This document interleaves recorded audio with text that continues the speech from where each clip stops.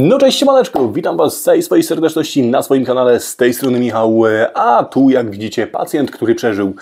Wszystko tu jest w należytym porządku, trzyma się cały zawias, jak i skrzydło matrycy, nie przejawia żadnych yy, ostrzeżeń, że miałoby coś zaraz pęknąć.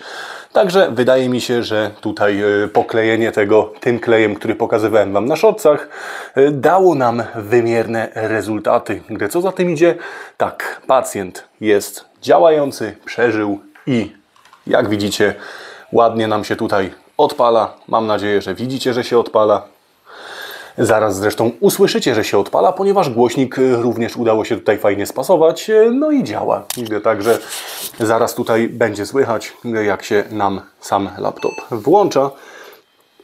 E, sam e, komunikat o dysku e, informuje nas, że ten dysk jest po prostu za duży względem tego, co tutaj mamy w środku, a mianowicie chipsetu Alladyna, który jest z pierwszej połowy lat 90. No i niestety tutaj takich dużych dysków nam sam z siebie nie obsługuje.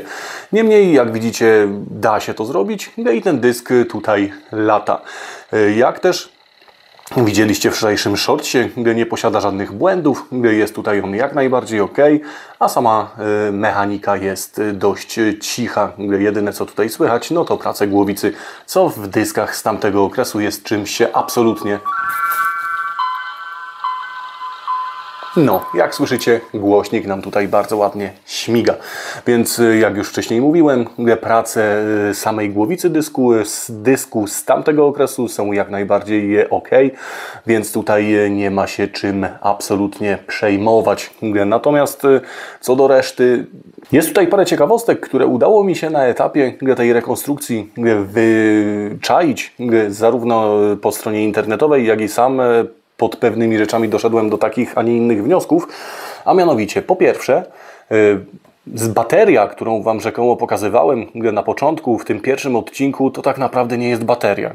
To jest, to jest zasilacz. Tak, ten laptop ma chowany wewnątrz tutaj y, zasilacz.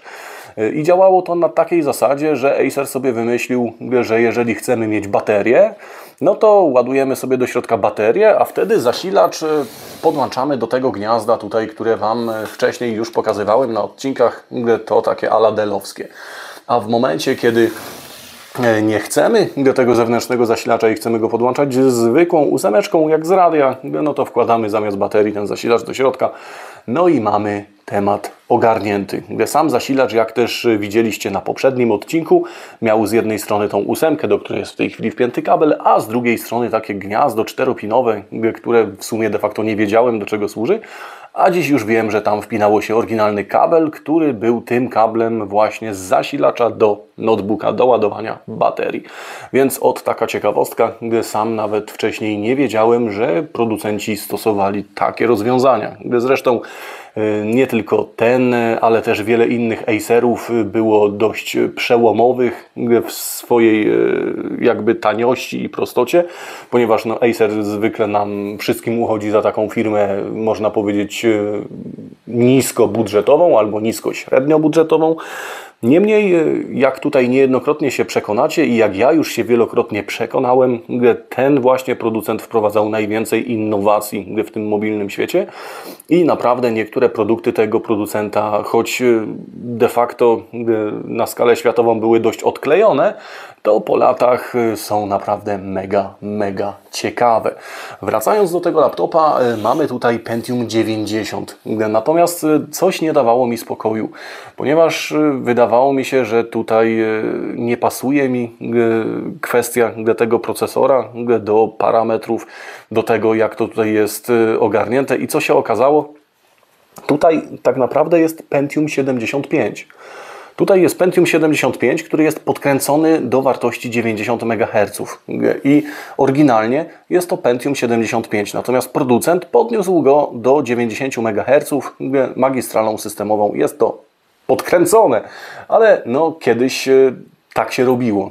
Tak naprawdę to nie jest pierwszy raz, kiedy producent podkręcał słabszy procesor, żeby udawał mocniejszy procesor. Może w świecie mobilnym nie było to aż takie oczywiste, natomiast jeżeli byście się cofnęli czasem wstecz, to w świecie komputerów stacjonarnych niejednokrotnie miało to miejsce i było to oficjalnie sprzedawane jako ten szybszy model, jednocześnie będąc delikatnie tańszym od konkurencji. Tak wcześniej robiło się w przypadku 486, tak się robiło w przypadku pierwszych Pentium i de facto większe producenci, więksi producenci skrzynek komputerowych robili tak nawet y, w przypadku Pentium 4, z tego co pamiętam, bo kurde, pamiętam jak dziś, jak byłem w Poznaniu w 2002 roku bodajże, i był sprzedawany Pentium 4 3 GHz, gdzie drobnym druczkiem było z dołu napisane, że tak naprawdę to jest Pentium 4 2,8 GHz podkręcony do 3 GHz, y, żeby być odpowiednikiem tego y, wtedy na tamtym okresie czasu flagowego Pentium 4 3,06 GHz.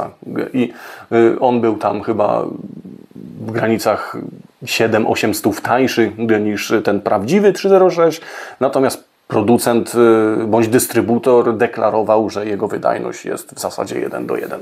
Więc jak kto woli, jak kto lubi. Mógł równie dobrze ktoś sobie kupić 2.8 i podkręcić, ale nie każdy przecież umie to robić. Więc no, to jest chyba takie trochę win-win, nie? Jeżeli ktoś nie ma drygu do tego, nie potrafi, a jednocześnie producent ci to zrobi, da gwarancję, że to będzie działać i jednocześnie sprzeda taniej niż y, odpowiednik, który by miał taką samą syntetyczną wydajność, no to chyba nie ma przegranych tak naprawdę w tym temacie. Nie wiem, napiszcie w komentarzach, co o tym sądzicie. Mnie się wydaje, że właśnie tak to jest. Y, wracając do naszego tutaj y, sprzętu, no to jak widzieliście na początku na przebitkach, mamy tutaj e, temat taki, że niestety zaślepki zawiasu z tej strony nie udało mi się znaleźć w resztkach plastików, które mi tutaj przysłał Tomek.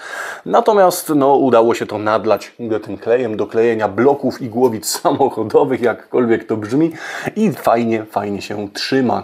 Jest tutaj parę takich mankamentów, których nie udało mi się odtworzyć. E, natomiast wszystkie te uszczerbki, które tutaj były, jakieś dziurki, jakieś inne e, rzeczy mamy porobione i laptop trzyma się e, kupy. Niczego mu tutaj w tej chwili specjalnie nie brakuje. Jest integralną kostką i tak naprawdę tutaj, jeżeli chodzi o walory estetyczne, ok, nie wygląda jak nowy, nigdy nie będzie już wyglądał jak nowy. Natomiast jeżeli chodzi o walory y, typowo praktyczne, typu zagrać sobie w jakąś grę, y, pokorzystać y, z takiego systemu operacyjnego, no to jest tutaj jak najbardziej wszystko ok i wszystko jest w zasadzie sprawne. E, pamiętacie może wszyscy ci, którzy oglądali odcinek e, Tomka o tym laptopie w momencie, kiedy robił mu unboxing i też ci, którzy nie oglądali, zachęcam, żeby jednak sobie zobaczyli ten odcinek. Była taka sytuacja, gdzie Tomek go wypakował i touchpad mu delikatnie pływał. I tak naprawdę Powiem Wam, e, że mi też zdarzyło się tak e, dwa razy podczas e, robienia z tym laptopem. Nie dlatego, że był zimny, więc tutaj jakby Tomek nie trafił. Natomiast wydaje mi się, co pomaga. O, może tak. W momencie, kiedy zaczyna mi touchpad pływać, on zwykle ucieka do lewej strony, należy delikatnie przycisnąć tą płytkę, tak, z czuciem tutaj do tego palmrestu i w tym momencie przestaje uciekać. I tak powiem Wam tak, ja, ja, sprawdzałem tą taśmę, to połączenie, to wszystko i tam wszystko wydaje mi się, że jest jak najbardziej ok, ale być może gdzieś coś delikatnie czasem nie styknie, więc ten docisk pewnie rozwiązuje tą kwestię. No, jest to urządzenie, które ma jakby na to nie było i jakby na to nie patrzeć 30 lat, więc ma prawo coś tutaj delikatnie nie pykać. Niemniej cała reszta jak najbardziej jest y, sprawna. Jeżeli chodzi o tematy użytkowe, no to Zagracie sobie przede wszystkim we wszystkie gry DOS y, bez żadnego problemu. Wrzucicie sobie tutaj natywnie dźwięk pod DOSem, ponieważ y, sam laptop ma kartę Sound Blastera. Tak, to jest karta Sound Blastera. Zresztą jak widzieliście na shortcach, kto nie widział, y, to zachęcam, żeby sobie tam cofnął parę dni wstecz. Na shortcie będzie widział, jak pokazuje, że ten laptop ma kartę Sound Blaster 16 Vibra bodajże, co tak y, naprawdę od momentu, jak robię z tymi mobilnymi sprzętami i siedzę w tym mobilnym retro, zdarzyło mi się pierwszy raz w życiu, ponieważ zwykle jest to jakieś ESS Maestro, jakaś Yamaha, w tych nowszych modelach y, będzie to jakiś Neomagic, bądź jakiś inny Ace AC97, kodek, jakiś, jakiś procek zgodny z kodekiem AC97. Natomiast tutaj jest rasowa karta Sunblastera z OPL-em dwójką Yamahy, także mamy mamy tutaj naprawdę fajne spektrum dźwięku. Co prawda jest tutaj tylko jeden głośniczek, ale z drugiej strony jest on wymieniony na taki, który fajnie gra, a dodatkowo mamy wyjścia jack, więc możemy sobie podłączyć zewnętrzne głośniki wedle własnego uznania. Więc uważam, że bardzo, bardzo fajnie. Jeżeli chodzi o całą resztę, no to napęd mamy jak najbardziej sprawny, co prawda z płytami nagrywanymi, czyli takimi CDR-kami, ma trochę gorzej. Y, najlepiej, żeby były nagrywane z możliwie najwolniejszą prędkością i on sobie wtedy pomalutku, pomalutku poradzi. Natomiast jeżeli chodzi o oryginalne płyty, czyta bez problemu. Jak w tamtym okresie, oczywiście nie jest to demon prędkości, bo to jest jakiś napęd razy chyba 8 albo razy 6. Natomiast fajnie sobie radzi i jest tutaj wszystko jak najbardziej ok. Y, z rzeczy takich jeszcze dodatkowych, y, fajnym tematem jest na przykład możliwość wejścia sobie w BIOS pod Windowsem. Jak widzicie, nacisnąłem sobie tutaj guziczek na y, Palmrestie i wszedłem sobie do ustawień oszczędzania energii w BIOSie. Jest to naprawdę bardzo, bardzo fajne i możemy sobie wejść bezpośrednio będąc już w samym systemie operacyjnym, co nie jest takie oczywiste, prawda? No, w ilu laptopach możecie sobie wejść do BIOSu, będąc jednocześnie w systemie? I nie resetując tego kompa, żeby wejść do BIOSu. To też jest taki, taki smaczek. Tutaj właśnie to jest y, takie acerowe. To, to jest takie typowo acerowe, że są zaszyte takie smaczki, których y, rzadko kiedy będziecie mogli doświadczyć u innego producenta, a tutaj po prostu są. One, one są tak wrzucone, tak o, i, i jest. I to jest właśnie takie, kurde, wow, moim zdaniem. I, i mnie to osobiście cieszy. Natomiast Wy zdecydujcie sami, co, co Wy w ogóle myślicie o Acerze. Yy, napiszcie może w komentarzach, co Wy myślicie o Acerze. Dla mnie, co, im dłużej w tym siedzę, tym ten producent robi bardziej ciekawe kadłuby. I okej, okay, miał tą swoją mroczną historię, y, zwłaszcza wtedy, kiedy jego serwisy były w Czechach i na Słowacji. No ja sam wtedy y, sprzedawałem ten sprzęt jako nowy i no musiałem się bujać z tymi serwisami i z tymi klientami, więc nie wspominam tego okresu jakoś specjalnie żwawo. Natomiast kurde, ten producent naprawdę robi robotę. Zresztą Wzięliście udział ostatnio w ankiecie. Ankieta jeszcze będzie aktywna do jutra, ale już widzę, że na prowadzenie wysuwa się kadłub z Windowsem XP i kurde, powiem Wam, że to też będzie Acer. I to będzie taki Acer, jakiego wielu z Was, a może i nawet większość z Was w życiu nigdy na oczy nie widziała. I powiem Wam od razu, że to jest jedyny taki laptop na świecie, gdzie żaden inny producent nigdy nie wypuścił takiego laptopa. To jest jedyny taki laptop na świecie. Więc warto zaczekać ten odcinek wleci i myślę, że też będzie ciekawie. A tutaj cóż, a tutaj na ten moment myślę, że to już będzie koniec. I kurde, cieszę się, że udało się doprowadzić tego złomka do ładu i cieszę się, że być może za jakiś czas będzie cieszył jednego z Was. Dlatego, że tak jak obiecałem, tak też robię i ten laptop jest do wygrania konkursie na tym kanale. A zasady są e, bardzo proste. Myślę, że zrobimy to dokładnie tak jak wcześniej, a mianowicie polub, zasubskrybuj i napisz w komentarzu, dlaczego to właśnie Ty masz wygrać tego właśnie laptopa. E, więc tak, konkurs jest dla subskrybentów kanału, a żeby jeszcze troszkę podkręcić piłeczkę, no to żeby wygrać tego laptopa, napisz komentarz, dlaczego to właśnie Ty masz wygrać tego laptopa i skopiuj i wklej ten komentarz również na kanale Tomka, czyli na PC-towo. PC-towo, które widzicie tutaj z prawej strony. Y, tak jak wcześniej wspomniałem, jest to świetny portal poświęcony głównie retro grom, y, topki, gry, ciekawe historie, wbijać. Naprawdę warto, można się wielu ciekawych rzeczy dowiedzieć i nieraz odnaleźć jedną tą właśnie ukochaną grę z dzieciństwa, która nam się gdzieś tam po drodze zapomniała. Natomiast tak, jeszcze raz, chcesz wygrać laptopa? Może być Twój.